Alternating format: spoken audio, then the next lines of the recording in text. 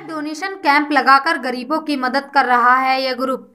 रक्तदान महादान रुड़की की टीम की तरफ़ से आज एक कैंप लगाया गया, जिसमें काफ़ी लोगों ने बढ़ चढ़कर हिस्सा लिया और ब्लड डोनेशन किया। आपको बता दें कि रक्तदान महादान ऐसे जरूरतमंद लोगों के लिए ब्लड डोनेशन का काम कर रहा है।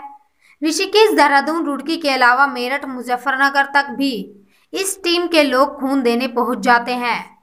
और जिनको ज़रूरत होती है, उन्हें खून देने का यह टीम काम करती है। और लगातार यह ब्लड डोनेशन कैंप लगाते रहते हैं। आज भी इन लोगों द्वारा छियालीस बोतल खून की मदर टेरेसा ब्लड बैंक में दान की गई।